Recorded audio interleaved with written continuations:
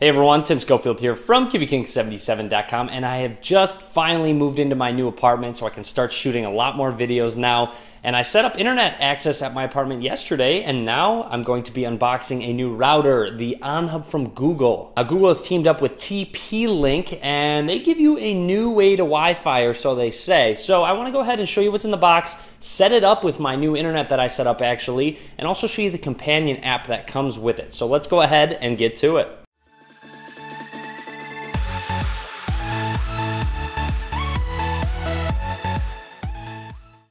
All right, here it is. The box is a little heavier than I thought it was gonna be. And you'll see, it lets you know what's in the box. You just have to get the app, plug in, and you can get online. Hopefully it's that simple. I'll show you guys real quick. So let's slide this up. Looks like you have a little card that was on top of the box. It lets you know what each color means. So the top of it does light up. No light means it's off. Blue, ready for setup. Teal, on and active. Amber, something is wrong. So I guess you could take a quick glance at it and you'll know if there's actually a problem. So here we go, light blue box with a, uh, I guess, tab that you pull up.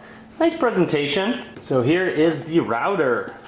Manufactured by TP-Link and partnered with Google, as I said earlier. So it's a cylindrical piece of equipment. I want to see maybe if this outer casing twists off or anything. I'm not sure exactly how it works just yet. So that being said, I'm going to put it to the side before I break something. Let's go ahead and see what else is in the box, the rest of it. So inside here we have, my guess is this says ethernet cables on the outside. So comes with two ethernet cables and they are more uh, flat ethernet cables as you could see. So it's actually pretty good. And then we will also see what this is. It's a power adapter. And I believe that would be it. So just comes with the power adapter and ethernet cables and you're done and the device itself so nothing out of the ordinary no instructions i mean instructions actually just simply state get the app plug in get online so let's get over and plug this guy in Okay, so here's everything we need to get everything set up. Um, the OnHub actually does open up, so to do so you just kind of twist it over and then pull up. And then the casing does come off, and you'll see you have some more packaging on the outside of it. And then you'll see download the app plugin and power internet. Um, now you'll see you have the power. You have a USB slot. You have, looks like internet in and out slots as well to get things going. But overall, that's really it. So you'll see it's just kind of a strange looking thing without the case on. Anyways, let's go ahead and grab one of these flat ethernet cables and plug it on in. And then this is going to plug into the modem, of course. Let's go ahead and plug it in. Okay, so these ethernet cables actually aren't really that long. I'm gonna actually need to move over to get it to reach the modem.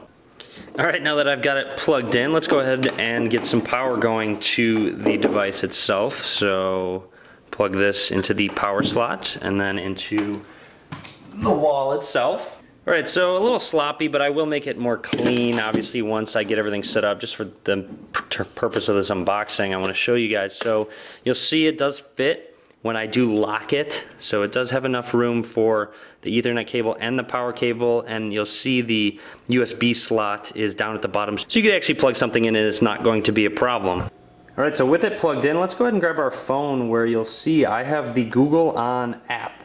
Let's go ahead and go into it.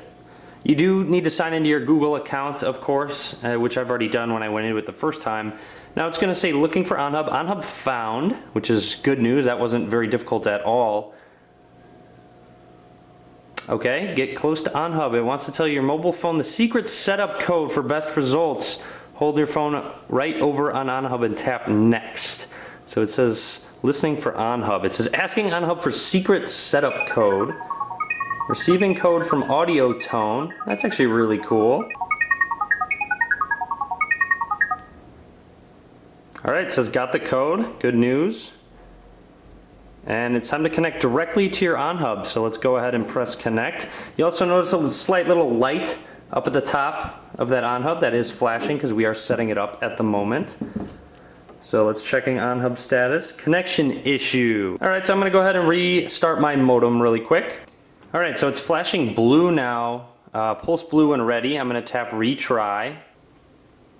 All right, set up Wi-Fi. So let's create a name and password really quick. All right, so I went and created the network really quick. Obviously, just didn't want you guys to see it in general, just the password. So let's build the Wi-Fi network and applying network settings.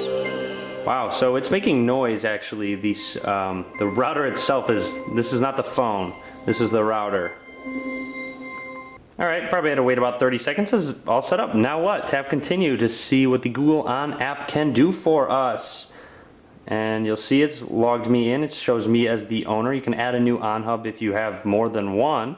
All right, so I'm gonna set the On Hub to the side and we're gonna take a closer look at the app. Okay, you'll see everything looks good. One device is online. You'll see my phone is the one. There's a little icon right down here. I'm gonna press it. I'm not exactly sure what it's gonna do. It's doing a network check. So I don't know if this is actually a speed test or if it's, oh it is. So let's run the speed test real quick. All right, Wi-Fi test complete. You'll see it says 35% efficiency, 86 down, 11 up, which is close to what I was actually getting on my laptop as well. So this is perfect. Um, and let's go ahead and hit share. No, I don't want to share it. Don't need to. All right, Wi-Fi access. You'll see it uh, just says Wi-Fi password right there.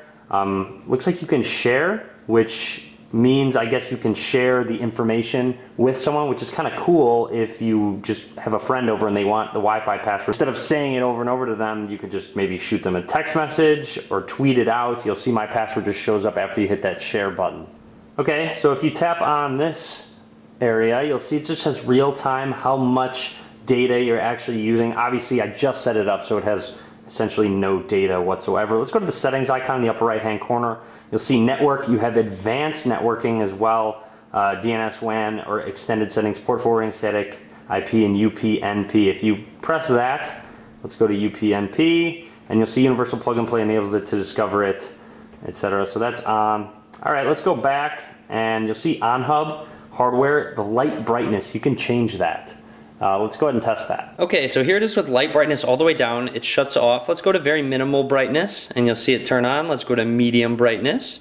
There's that. And then all the way up. So it does get pretty bright just to kind of let you know the status of the router. Anyways, you'll see software version, on-hub details. You can restart it or factory reset. So that's nice. You can restart it straight from your phone so you don't have to, I guess, get it up, unplug it, plug it back in. Although unplugging it and plugging it back in probably is the better bet. You can customize who can edit the settings of the router. So if you have roommates or anything like that, they can have the app as well. And then app and support details just gives you more information about the app. And then privacy is on cloud services, usage stats, and app usage stats as well. But anyways, that's the OnHub router from Google and TP-Link. I will be doing a full review video soon once I actually get some usage with it with a lot of people on it at once, more bandwidth, see how it optimizes, everything like that give you even more information on it. So, like I said, be sure to subscribe, follow me on Facebook, Twitter, Google+, all links in the description of the video below.